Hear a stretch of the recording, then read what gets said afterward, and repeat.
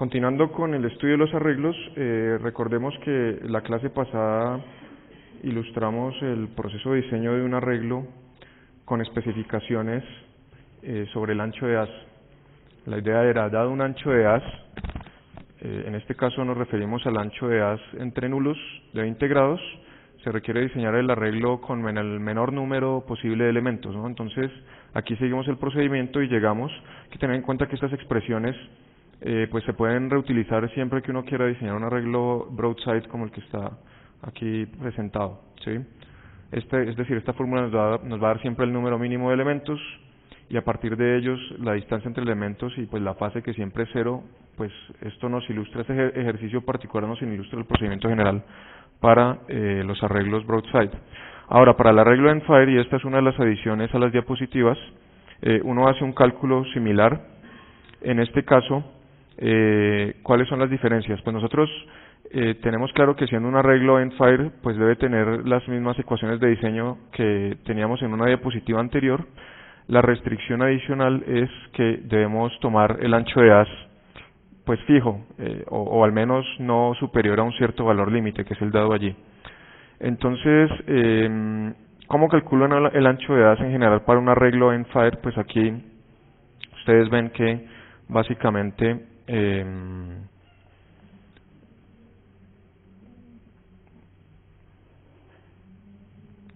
básicamente nos interesa calcular el ancho de haz y relacionarlo con eh, los parámetros de diseño del arreglo que serían eh, el ángulo de desfase, el número de elementos y eh, tendríamos también la distancia entre los elementos, ¿no?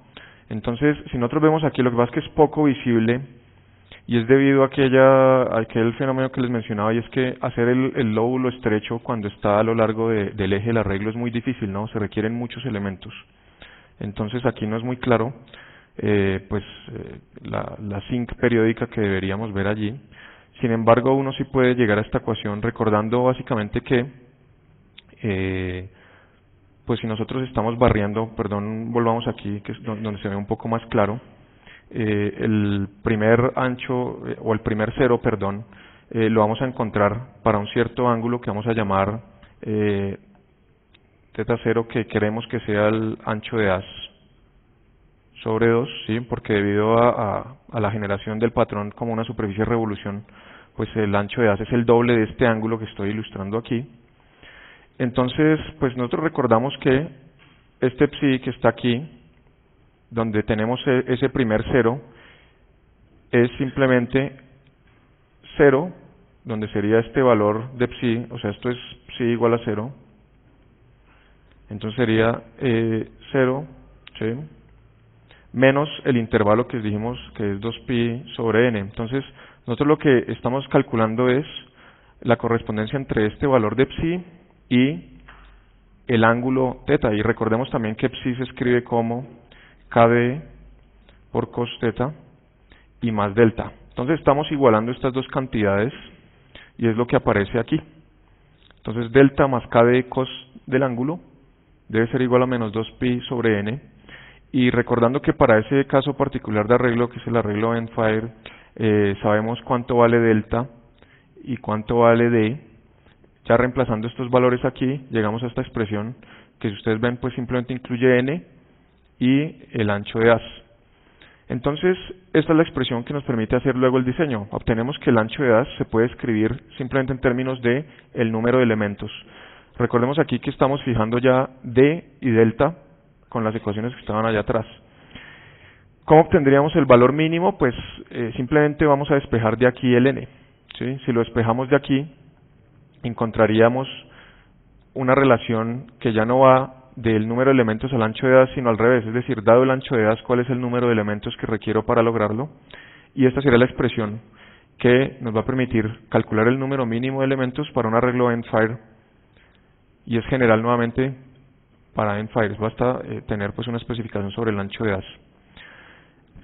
Calculando eh, pues estos valores, eh, obtenemos para n mínimo 132.6, ¿sí? así que redondeamos hacia arriba 133 y eh, a partir de las fórmulas también en la diapositiva sobre arreglo en Fire pues tenemos eh, la distancia que es muy cercana a media longitud de onda y el, desfase que es menos 178.65 eh, grados. Em, bien, aquí hay unas cosas para decir. Este ejercicio es más ilustrativo que práctico, ¿sí? En principio, eh, no es práctico tener un arreglo tan grande a lo largo de un eje. Adicionalmente, la tolerancia que usted debe tener sobre el posicionamiento de los elementos es muy alta. ¿sí? Si aquí nos equivocamos por, eh, digamos, un centésimo, es decir, pasamos de esto a 0.5, aparece inmediatamente el lóbulo imagen aquí. Entonces, realmente este diseño no es muy práctico, pero sí es para darle la idea de cómo eh, el arreglo en Fire pues no es la solución, no es la mejor solución para lograr este tipo eh, de patrones. ¿Sí? ¿Preguntas aquí? ¿Sí?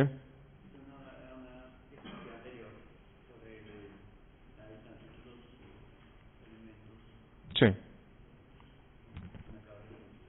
Ah, bueno. Eh, ah, ok, sí. Correcto. Sí, este es dos veces este ancho. Esto, de hecho, aquí habría también un seno. Lo que sucede es que aquí hay un seno en el numerador y otro en el denominador, entonces las esas dos ceros eh, pues tienden a, digamos la relación entre esos dos tiende a una constante, ¿no? Entonces por eso ese cero desaparece, pero sí habría un cero aquí también.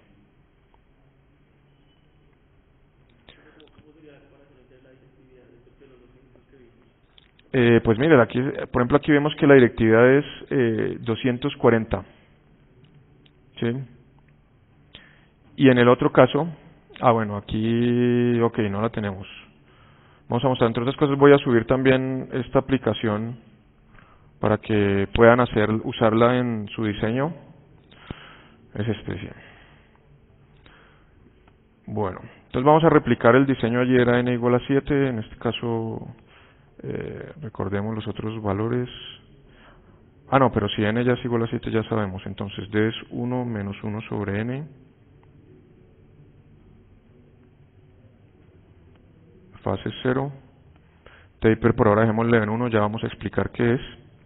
Entonces este sería... Bien, entonces la directividad de este arreglo ah, tiene el mismo ancho de as, que es casi 20, o sea, 19.1 y la, la, la directividad es 11, ¿sí? Es mucho menor, claro, estamos hablando de casi 20 veces el otro, ¿es 200 algo? Eh, entonces, eh, pues para ver que, pues eh, básicamente una especificación sobre ancho de as depende también de hacia dónde quiero apuntar el lóbulo, ese lóbulo principal, ¿no? No nos dice todo eh, sobre ese diseño. Ahora esta aplicación también les permite ir al revés, ¿sí? Eh, y antes de hacerlo, solo les voy a mostrar las ecuaciones, que sería otra de las diapositivas nuevas, pero no sé si hay más preguntas antes de avanzar. Sí, pregunta.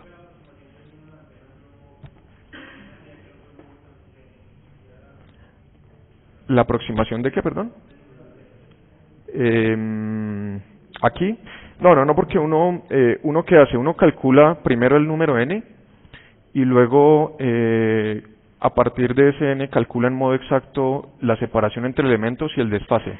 Es decir, numéricamente se puede obtener. Lo que pasa es que, de acuerdo, en la práctica esto no es posible, ¿sí? Eh, es muy probable que, por ejemplo, uno no llegue exactamente a tener el máximo aquí, ¿sí? O que aparezca el otro lóbulo imagen. Es decir, esto no, uno no, no haría este diseño, es demasiado sensible a estos parámetros porque son demasiados elementos.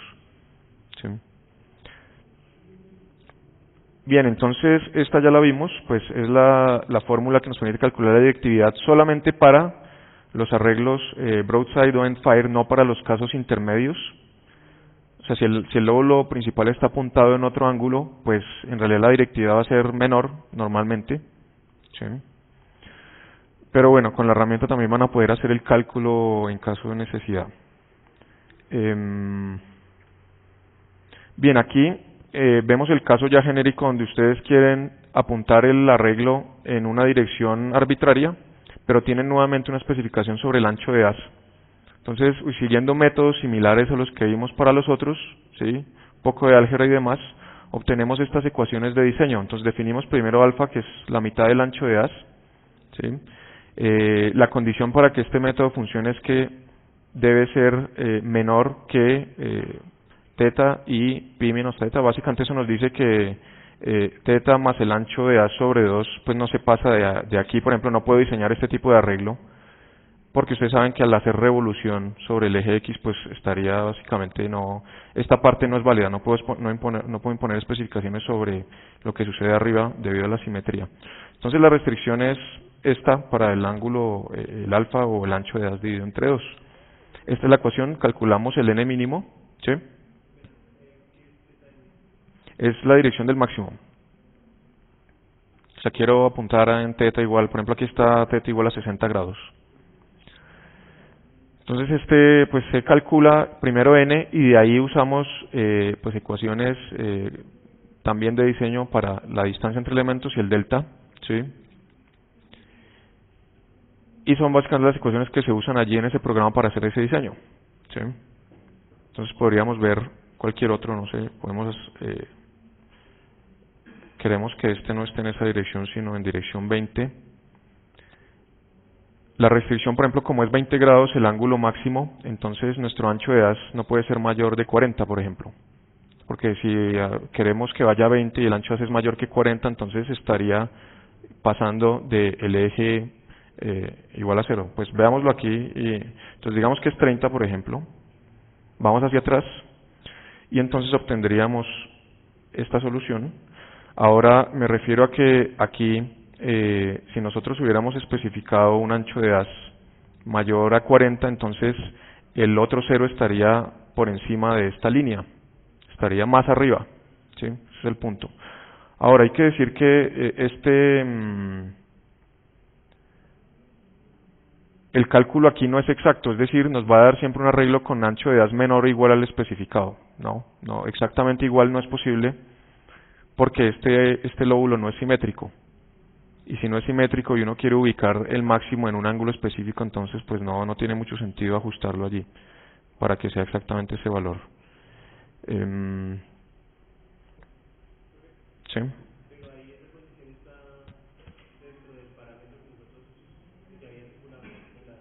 Ahí donde aquí. No, aquí usted puede aplicar si quiere 50, eh, no sé qué saldría, veamos. Sí, básicamente, mmm, básicamente hace un módulo ahí, una resta módulo, o sea, no funciona, no, no, no, es posible sacar un ancho de as, porque fíjese, es decir, uno cómo interpretaría eh, el arreglo si tenemos aquí el máximo en 20 grados y el ancho de as es, 5, es 50. Eh, fíjese que uno se imaginaría primero el patrón en 2D, ¿sí? se imaginaría que un as de un ancho de 50 grados, pero resulta que la parte superior de ese as atravesaría el eje de rotación, entonces no, no resulta allí. ¿Mm? Pues es que de hecho no, no tiene sentido arriba, ¿no? Eh, simplemente arriba ya la ecuación no es válida. Porque esto, pues dijimos, tiene simetría rotacional, entonces no funciona ya. Ah, bueno, sí. Eh, entonces, antes de pasar a eso, ¿hay preguntas sobre este diseño? ¿Sí?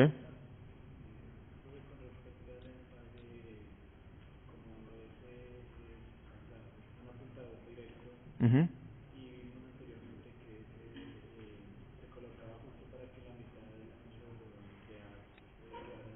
Sí. Uh Eh, no, de hecho es que por eso es que la ecuación no funciona, por ejemplo, para el endfire, ¿no?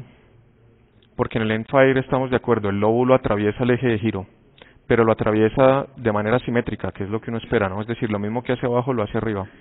Entonces aquí pues uno pone cero y de hecho puede hacer el diseño también. Eh, claro que no funcionó, ¿por qué? Bueno, estuve modificándolo hoy, entonces, ¿qué habrá pasado? Veamos ni 180 ni si no tampoco ok no debo antes de tengo una versión anterior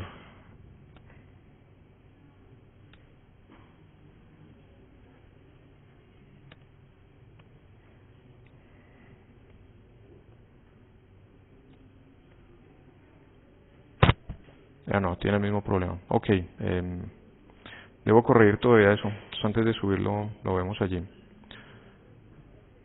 Bueno, entonces veamos lo del taper, ahora sí, la pregunta que tenían allí. Eh,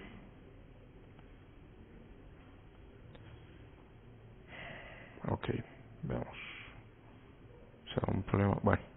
Bueno, entonces eh, retomemos nuestro diseño de un arreglo broadside por ahora. Entonces, digamos, son cinco elementos. D sobre lambda es 1 menos 1 sobre n, o sea, 0.8, fase 0, taper 1.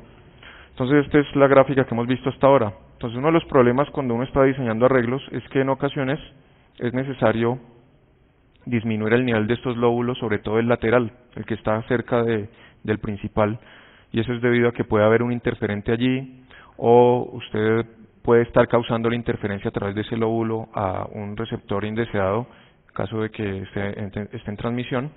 Y pues como ustedes ven, este método de diseño no nos permite mejorar este número. Este, este lóbulo, por más grande que sea el número de elementos, tiende a estar apenas 13 decibeles por debajo del nivel máximo. Y esos 13 en muchas ocasiones pues son insuficientes. Entonces, la manera de, eh, una de las maneras de mejorar esta relación, llamémosla del lóbulo principal al lateral, es modificar el esquema de alimentación al arreglo, básicamente deja de ser uniforme, en el sentido de que cambiamos las amplitudes, es decir, dejamos las fases igual, cambiamos únicamente las amplitudes. ¿Cuál es la mejor manera de cambiar las amplitudes?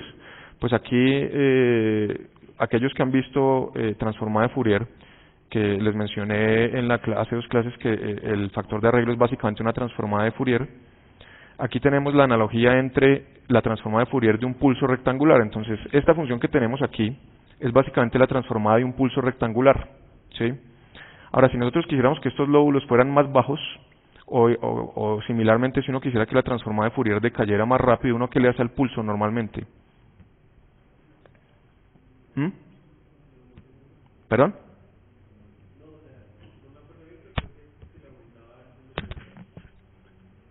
Una posibilidad es ensancharlo, ¿sí? Bueno, si uno ensancha el pulso, se vuelve más angosto aquí la función, ¿no? Primera cosa. Una de las posibilidades es, por ejemplo, pensemos en lo siguiente, ¿qué pasa si yo tomo esta función y la multiplico por sí misma, por ejemplo? Esto es básicamente dejar este 1 aquí donde está, pero este lóbulo se hace mucho más pequeño, ¿no es cierto? 0.25 al cuadrado, ¿sí? Si nosotros hacemos el, el producto en frecuencia, ¿qué significa en tiempo? Convolución. Entonces, si usted toma el pulso y lo convoluciona con sí mismo, la transformada de eso ya tiene las condiciones. Si usted toma un pulso y lo convoluciona con sí mismo, obtiene una función triangular, ¿no? Entonces, fíjense que pasar del pulso al triángulo es básicamente suavizar el pulso, no tener un cambio tan abrupto en los elementos del borde, hacerlo más suave. Entonces, eh, esto que está indicado aquí es un factor de tapering o suavizado que pues no va al extremo de, usar un esquema de alimentación triangular, sino que es de coseno realzado, es un coseno levantado de una cierta cantidad. La idea simplemente es que el elemento del centro tiene valor 1 y el elemento del borde tiene factor tiene valor esta amplitud que le pongamos aquí. Entonces, por ejemplo, si nosotros ponemos 0.5 en tapering, el esquema de alimentación sería básicamente 1 aquí y va bajando con factor con forma coseno y el elemento de más al extremo está con una alimentación 0.5. Entonces imagínense un coseno levantado para tener pues igual el valor máximo en 1 y el valor en el extremo allí igual a 0.5. Entonces uno esperaría que eso pues nos baje el nivel de este. Entonces vamos a ver y efectivamente pasa, ¿no? Pregunta. Eh, veamos allí. Básicamente es eh, aprovechar ese enfoque de cambiar la forma de la excitación. Entonces, digamos que en un arreglo lineal uniforme,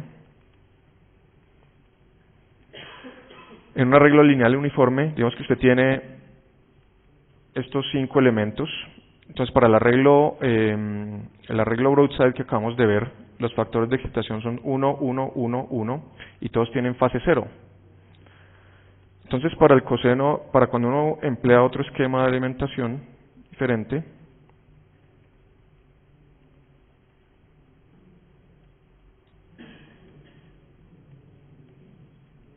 Este ya no es 1, este ya no es 1, este se vuelve 0,5, se vuelve 0,5, este se queda 1, y aquí, bueno, tendría que calcular cuánto nos da. Básicamente, imagínese que usted tiene un coseno que se hace 0 aquí y aquí, y es 1 aquí, y usted lo empuja hacia arriba, lo comprime, de manera que se queda arriba en 1, pero los lados van subiendo un poquito, ¿no? Entonces, esto pues tendría que hacer el cálculo, pero podemos decir que es algo así como 0,8. ¿Sí? Para no hacerlo allí. ¿Mm? ¿Por qué no dejar qué, perdón? Pues eso sería equivalente a quitar este elemento, ¿no? Si le aplicamos 0 es como si no estuviera. Entonces estoy desaprovechando de todos modos ese espacio allí.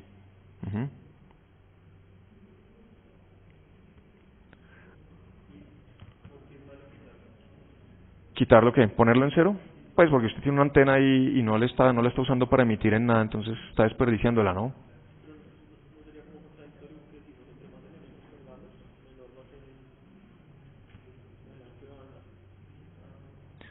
No, fíjese que esto es... Eh, claro que sí, claro que sí, y es una buena observación que ya vamos a ver. Fíjese que de todos modos obtuvimos en principio el resultado que queríamos y es que pasamos de 0.25 a 0.1 hecho por debajo. Entonces esto ya está por debajo de 20 decibeles, menos de menos 20 decibeles, ¿sí? respecto al principal. Sin embargo, algo que se ve aquí también es que se ensanchó. Antes llegaba hasta aquí este as, ¿no? Este cero. Entonces no es gratis y eso pues es como siempre conservación, ¿no? Estamos lo único que estamos haciendo aquí es redistribuyendo esta, el área bajo esta curva, si queremos verlo de esa manera. Entonces, esta bajada en los lóbulos secundarios se hace a, costa de ensanchar el lóbulo principal. Bien. Eh, ok, esto no funciona hasta el infinito, ¿no? Es decir, si yo sigo bajando aquí, a veces, es decir, bueno, no sé si aquí va a suceder, pero fíjese, por ejemplo, aquí ya el efecto es, es exagerado, ¿no? Y este lóbulo, de hecho, no está muy por debajo de 0.1. De 0.1. Entonces, en realidad, Digamos que el tapering funciona más o menos hasta este valor de 0.5, 0.4, donde todavía obtenemos una disminución razonable. ¿sí? Entonces, ¿qué sucede? Pues básicamente si uno tiene que hacer eh, un diseño de un arreglo con tapering, pues tiene que considerar que el ancho de edad ya es mayor al que tenía antes. Y por ejemplo, este, el diseño al ir de aquí hacia acá, pues no funciona con tapering, no está todavía hecho así. Bueno. Entonces es otra opción para, pues para cambiar, para modificar la forma de ese, de ese patrón de radiación. Por ejemplo, aquí fíjense que estamos también permitiendo eh, la entrada del óvulo imagen, ¿no? Entonces uno aquí, ¿qué tendría que hacer? Tendría que disminuir el radio de esa circunferencia para que el diseño siga funcionando. Porque, por ejemplo, aquí, miren, tenemos estos picos que son lóbulos en direcciones ortogonales a la que queremos. ¿Sí?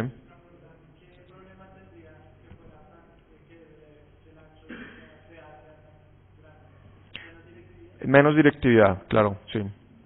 Entonces, si usted tiene una, una especificación de ancho de haz fija y tiene también una especificación sobre este el nivel del lóbulo lateral, probablemente tiene que usar tapering, pero luego aumentar el número de elementos. ¿sí? Por ejemplo, aquí, una primera cosa que uno podría hacer es disminuir este radio. ¿no? Si nosotros hacemos que el radio llegue hasta aquí, que eso es más o menos 0.70, no sé, 72, entonces eh, eliminaríamos este lóbulo eh, sí. Pero no, no, no porque todavía está... Ah, sí, claro, ok, ya. Sí, no es que sigue dibujando hasta aquí. Pero entonces ya pusimos un cero justo allí, ¿no? Entonces uno restringe y elimina ese lóbulo imagen acercando los elementos entre sí. ¿Sí? Y esto aquí, nuevamente, aquí hay un, un análogo interesante con, con el teorema de Nyquist que ustedes conocen de su curso de señales, y es que las antenas, desde este punto de vista, siempre son muestreadores espaciales de la señal, y si usted las aleja demasiado entre sí, es como si estuviera mostrando la señal a intervalos demasiado grandes. Ocurre aliasing, ¿no? Aquí igualmente si las antenas están muy separadas, entonces tiene usted un lóbulo imagen y eso pues es indeseable, ¿no? Entonces, pues aquí uno podría ver también las antenas como elementos de muestreo de la señal en el espacio.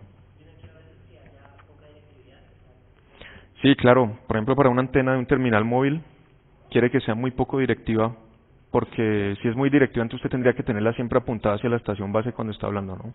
Entonces tiene que ser muy poco directiva. Y en general cualquier receptor de comunicación móvil, la antena de Wi-Fi del portátil, los, las antenas Bluetooth también, sí. Las parabólicas sí son siempre hechas con la intención de hacerlas muy directivas. sí.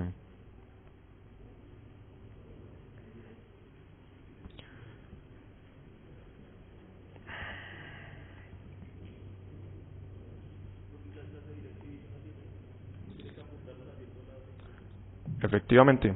Y eso sí, a veces es complicado, ¿no? A veces no, no lo logran a la primera. Em, bueno, vamos a ver aquí. Vamos, ok. Bueno, entonces estas, eh, como les digo, son ecuaciones de, diseños que, de diseño que pueden emplear. Por ejemplo, para el, para el proyecto propuesto, estas ecuaciones le permitirían a ustedes saber cómo se vería el arreglo apuntado en una dirección diferente a la dirección normal al arreglo, ¿no? ¿Qué, qué desfase requiere, requieren? Eh, qué número de elementos es requerido para lograr un cierto ancho de as, porque también hay una especificación allí de ancho de as. Otra cosa es que, pues aquí está dado el ancho de as entre nulos, pero la especificación a veces se da en términos del ancho de as a mitad de potencia. Es el ancho entre las caídas a 3 decibeles, a los dos lados del máximo, ¿no?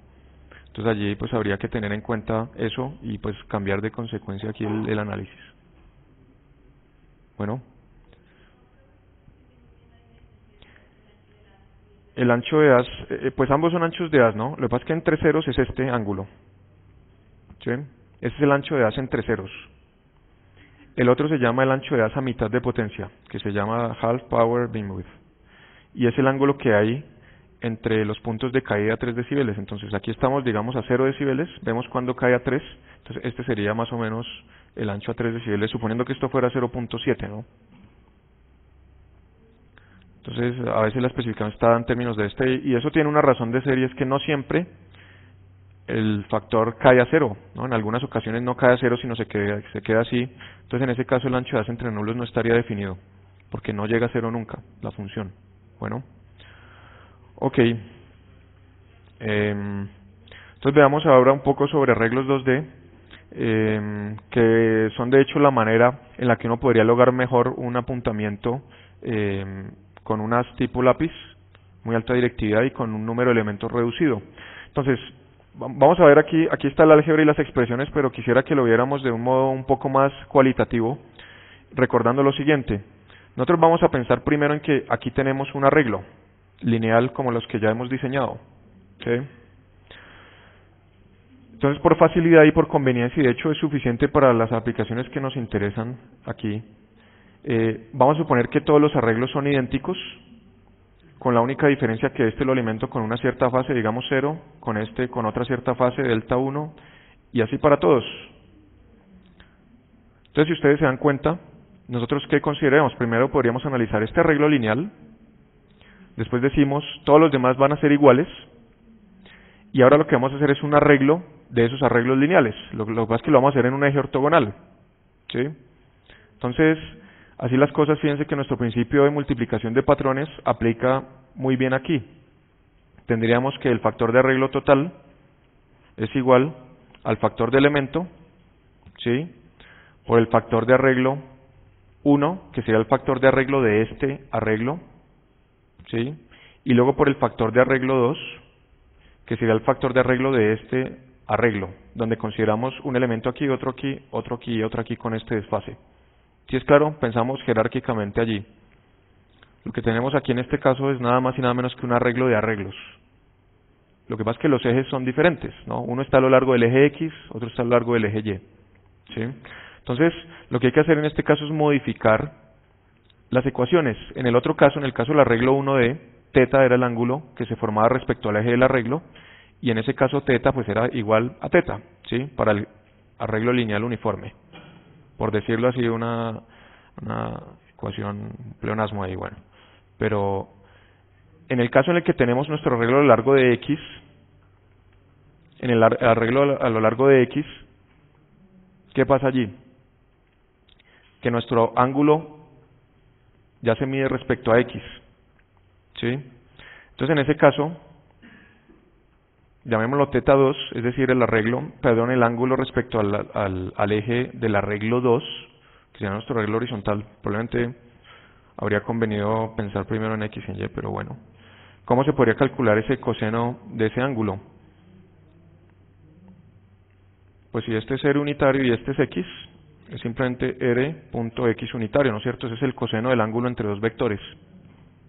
¿Sí?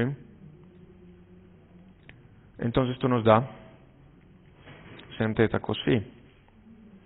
Entonces lo que esto nos dice es que este factor de arreglo 2 es idéntico.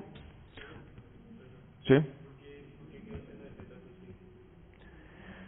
¿Por qué seno de teta cos phi? Eh, pues R, unitario, había que escribirlo aquí por extendido, ¿no? Pero ya lo, vimos, eh, lo vimos, ¿no? ¿O no? Sí, lo vimos en otra circunstancia. Bueno, recordemos aquí R es igual a X, sen teta cos phi,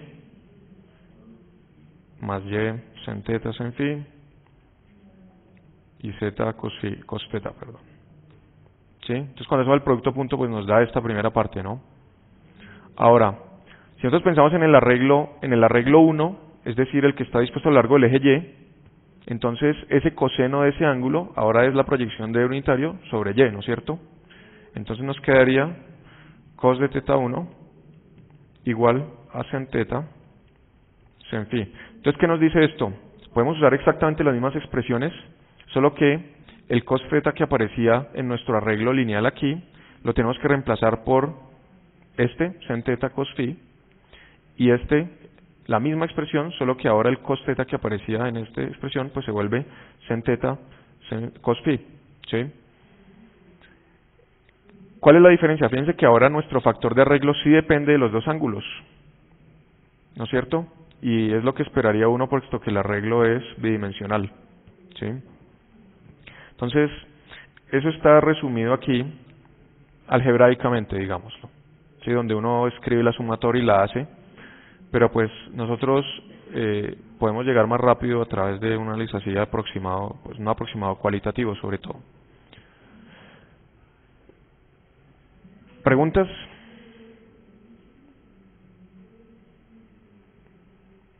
Entonces, el resultado del análisis es el siguiente el factor de arreglo normalizado, que ya depende, dice que antes dependía solo del ángulo respecto al eje del arreglo, ahora va a depender de los dos ángulos, que básicamente que es lo mismo que decir que depende de la dirección de observación R unitario. Entonces escribe como el producto del factor de arreglo respecto a un eje y respecto a otro eje. ¿Sí? Ahora, fíjense estas variables aquí. Esta, por ejemplo. ¿A qué se les parece? Voy a borrar aquí, si nos arregla un poco, nos ayuda un poco más. Esta variable. Esto es parecido a psi, ¿no es cierto? ¿Cuál es la única diferencia de este? Este es cos del ángulo. Es lo que acabamos de mencionar, ¿no? Entonces por eso decimos que el factor de arreglo total es el producto de un factor de arreglo de n elementos dispuestos a lo largo del eje U, pero U aquí es, este es el psi referido al eje X del arreglo, ¿sí? Sen teta cos phi, y luego tenemos factor de arreglo de M elementos, pero ahora pensando a lo largo del eje B, que es este. Fíjense que nuevamente es psi con la diferencia de este factor. ¿sí? Entonces, ¿Qué es lo que parametriza nuestro arreglo? Por un lado, el número de elementos a lo largo de eje X, que es el que llamamos eh, n. Luego a lo largo de Y tenemos m elementos. Luego aplicamos un, una fase progresiva, delta X. Entonces, digamos, si este tiene fase 0, este tiene fase delta X, este tiene 2 delta X, y así sucesivamente. Y tenemos también un desfase en Y y en elementos. Entonces, si este es 0, este sería delta y, pero este que está aquí, fíjese que debe estar desfasado tanto en esta dirección como en esta. Entonces, aquí tendríamos delta y más delta x. Entonces, si pudiéramos visualizar la fase, simplemente es un plano, plano que pasa aquí por 0, en esta dirección la pendiente es pues delta x y en esta es delta y, ¿sí? Entonces seguimos teniendo pues separabilidad, el arreglo es separable. Eh,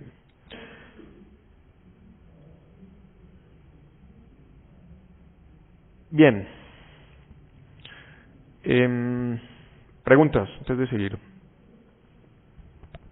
Fíjense que esa superficie allí es nada más y nada menos que el producto de esas dos zinc discretas a lo largo de dos ejes ortogonales. Es decir, tomo una de estas, ubico una en el eje ortogonal y las multiplico, ¿sí?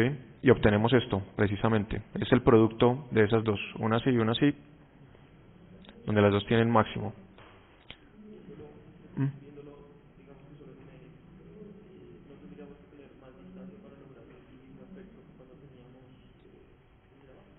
No, no, sigue siendo lo mismo, ¿no? Esto de aquí a aquí sigue siendo eh, 2pi, si uno lo ve. Eh, sí, esto sigue siendo 2pi. De hecho, aquí está normalizado de psi sobre 2pi. Sí, sí. Sí. Pues no necesariamente, porque dice que sigue siendo, esto sigue siendo el coseno de un ángulo, ¿no? Este sigue siendo el coseno que forma la dirección de observación con el eje X. Entonces sigue siendo ese coseno de ángulo. Entonces varía entre menos 1 y 1. ¿Sí?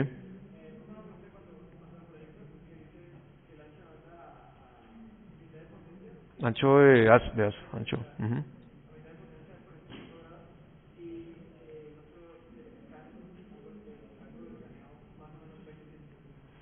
Sí, quiere decir, eh, en condiciones normales el arreglo apunta a 90 grados y ahí dice más o menos 20.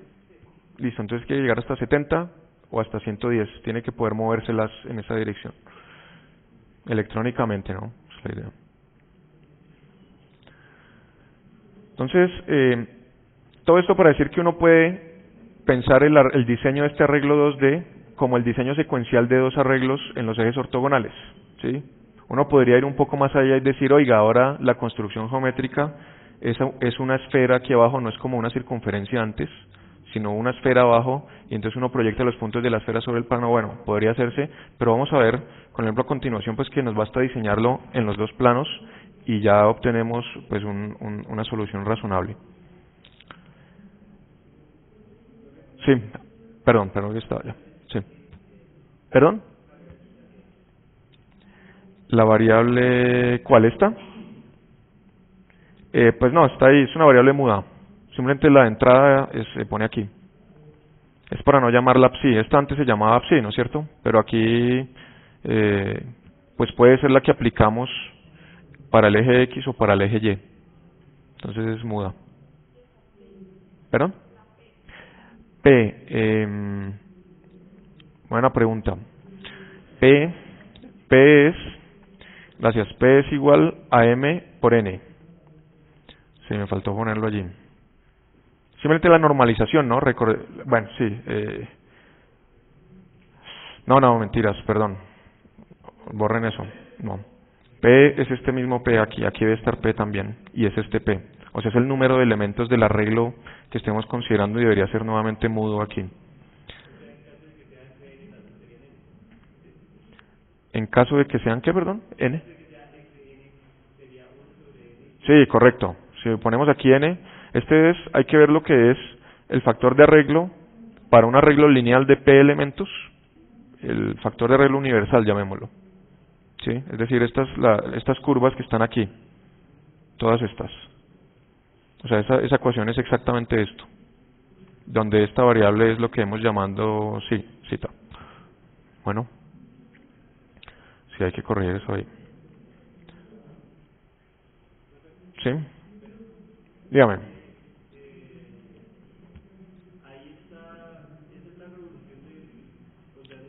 Ya no es revolución. No, porque fíjese que ya ahora depende tanto de teta como de phi, entonces hay que graficar para todos los puntos.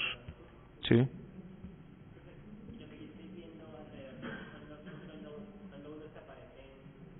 También son imagen, claro. Por ejemplo, eh, digamos, si, si ustedes me permiten esa generalización de, de, de la forma que vimos antes, si nosotros elegimos una fase y una distancia entre elementos en los dos ejes, entonces lo que vamos a tener aquí es, voy a cambiar el color a esto, vamos a tener esta circunferencia. Por ejemplo, ¿sí? si aumento la distancia entre elementos, entonces voy a tener una circunferencia más grande.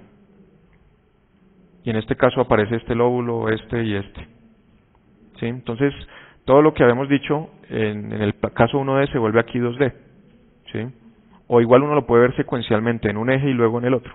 Que es la forma más sencilla, probablemente. Sí, sí, sí. Si las distancias son iguales. Si no son iguales, se vuelve una elipse, pero... Entonces uno puede hacerlo, pero de pronto es más fácil verlo secuencialmente. Uno diseña primero el arreglo a lo largo de X y luego a lo largo de Y. Bueno, entonces vamos a hacer vamos a hacer este diseño.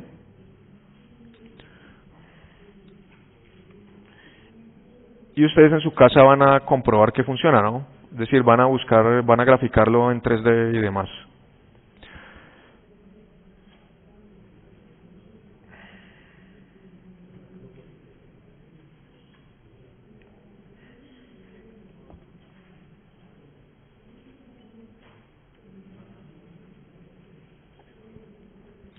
Entonces nos dicen que en el plano XY es donde está ubicado el, arreglo, es decir que pues puedes coger que está a lo largo del eje X y a lo largo del eje Y están los lados de este rectángulo, de la retícula rectangular. Nos dicen que el máximo debe estar en esta dirección, teta, phi, 45-45 grados. Y necesitamos que el ancho de A sea menor que 30 grados. Eso ya nos plantea un problema, ¿no? Porque en 3D el ancho de haz tendríamos que medirlo a lo largo de todos los ejes del haz. Entonces vamos a decir simplemente que vamos a garantizar el ancho de haz en los dos planos relevantes, es decir, en los dos planos diseñados allí. Y en principio eso nos debe garantizar que el ancho 3D pues funcione. Básicamente si uno garantiza un cierto ancho de haz en un plano y en el ortogonal otro, lo que sale ahí es una elipse, entonces no va a ser más ancha que ninguno de esos dos. ¿sí? Entonces vamos a hacer el diseño allí. El primer paso es transformar esa especificación en 3D en especificaciones 1D para cada uno de los arreglos. ¿sí? Por ejemplo, ustedes recuerdan que si X nos daba K por D por sen teta cos phi más delta X y teníamos la otra ecuación, que esto también, esto lo llamamos U, de hecho es el, el nombre usual es U también, KD sin teta sin phi más delta Y, B. Entonces vamos a diseñar dos arreglos, uno a lo largo de X, otro a lo largo de Y. Lo que pasa es que tenemos que transformar esta especificación de máximo en una especificación sobre esos ángulos en los ejes. ¿sí? Ah, no. Entonces, ¿cómo lo haríamos? ¿Ustedes qué opinan?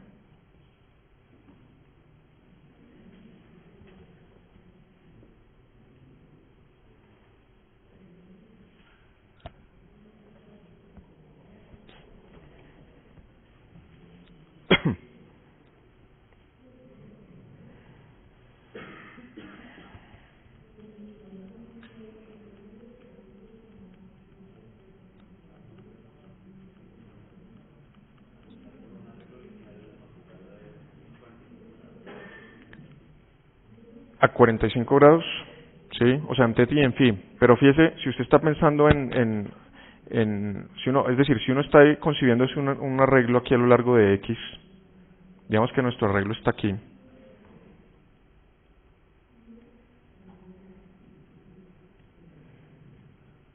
Entonces, estaremos buscando básicamente eh, algo como esto, por ejemplo. ¿Sí? Entonces la pregunta es qué ángulo le debo asignar a este a este máximo.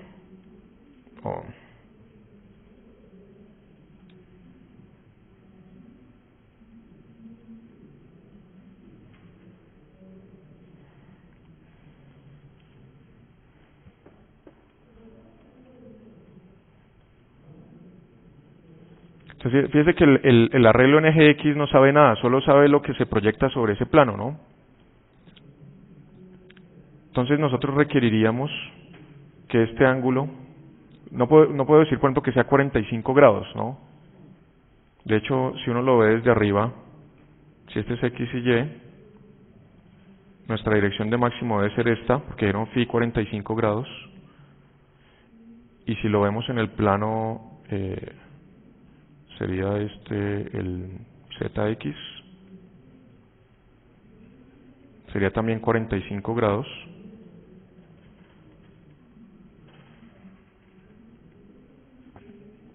¿sí? de manera que ese vector no va a formar un ángulo de 45 grados con el eje X, ¿no es cierto? Porque si lo ve usted sobre dos planos diferentes, forma 45 grados, entonces el ángulo tiene que ser mayor realmente, que forma allí. Entonces, ¿cómo calculamos este alfa? Entonces, pues, no hay ningún problema, es simplemente R unitario máximo, es decir, la dirección en la que va el máximo, punto el eje, ¿no es cierto? Este sería el coseno de ese ángulo. Decir, nosotros estamos tomando la dirección de máxima radiación, la proyectamos sobre el eje X y ese es el ángulo que ve el arreglo. El, arreglo únicamente distingue el ángulo respecto a él para una dirección. ¿sí? que el, arreglo, pues, el arreglo en general unidimensional eh, tiene la misma respuesta para todas estas direcciones de observación. Él solo se da cuenta de variaciones en el ángulo, es decir, si, si barremos así. Entonces, este es el cálculo que nos va a permitir saber cuánto vale alfa.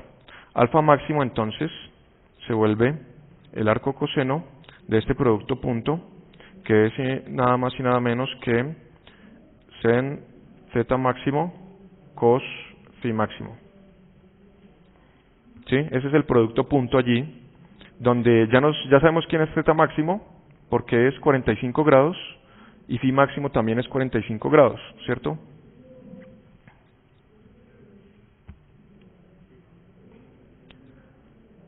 Entonces, ese alfa máximo, ¿cuánto les da? ¿30? ¿Cuánto le dio? ¿30? 60, eso, sí, 60. Sí, esto se nos vuelve 1 sobre raíz de 2, 1 sobre raíz de 2.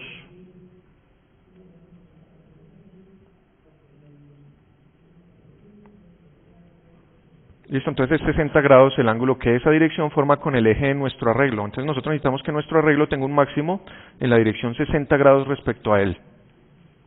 ¿Listo? Entonces necesitamos diseñar un arreglo con mínima complejidad que apunte en dirección 60 grados y que tenga ancho de haz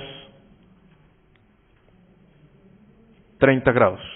¿Listo? Entonces podríamos tomar todas las ecuaciones o más bien aprovechar esta herramienta que tenemos aquí, que debería funcionar, entonces 60, en ese caso, ancho de as 30.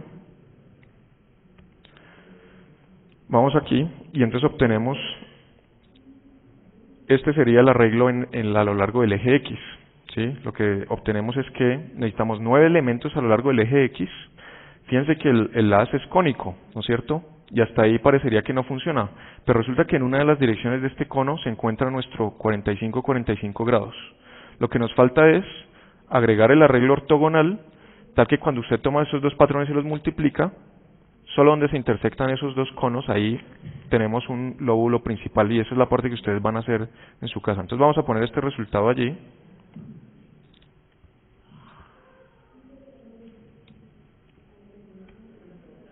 ¿Sí?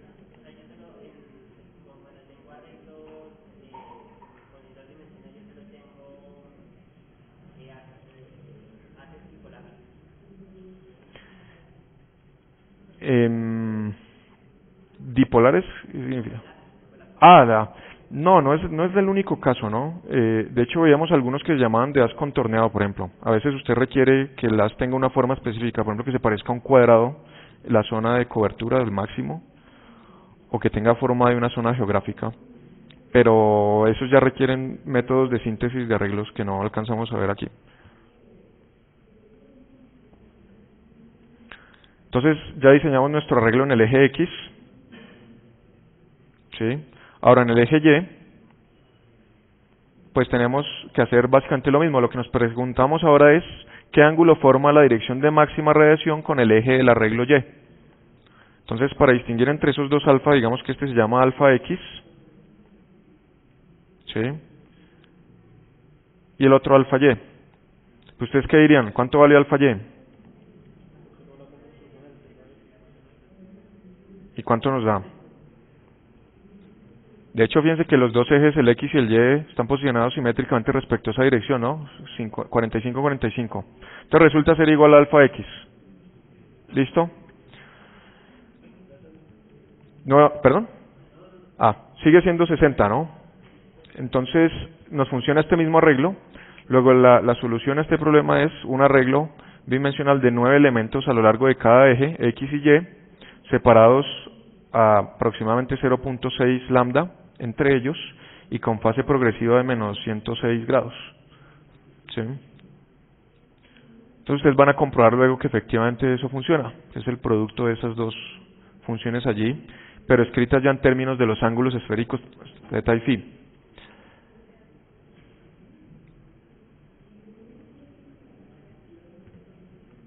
Bien.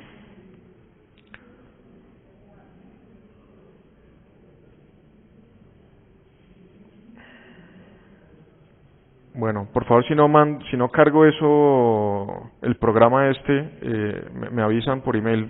La idea que lo cargo con las diapositivas, y, no, con la clase, perdón.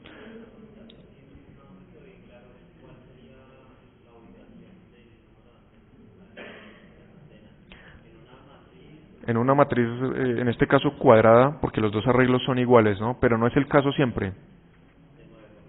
9 por 9, correcto. Tenemos 81 elementos. Uh